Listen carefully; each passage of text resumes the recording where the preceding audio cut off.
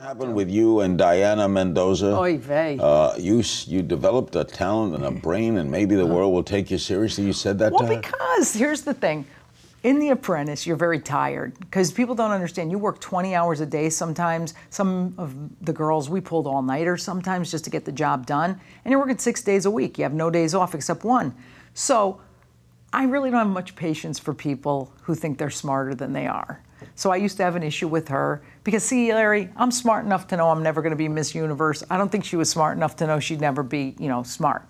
So the problem is, I, I have no patience, and it came out on tape. So, hey, we were both there for charity. Thank God we both won money for our charity, so it was all good.